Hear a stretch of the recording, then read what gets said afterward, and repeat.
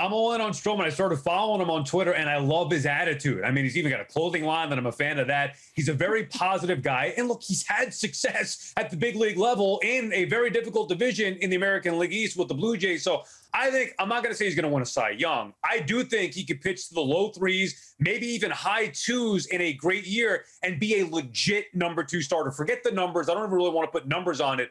I truly believe Marcus Stroman will be a legit number two in this rotation behind Jacob DeGrom this year. I think you throw out what happened last year, obviously opting out, even the year before, getting acclimated from the trade. So I think Stroman can be and will be a legit number two. I think you just want free sweatshirts. I already paid the box coming tomorrow from Stroman. Uh, look, I want. I'll take this opportunity to compliment Jeremy Hefner for believing in his guys, uh, for working hard to help them maximize their potential, and for for talking them up in the media, which is part of his job. And I would also like a box of clothes if, if that would be possible.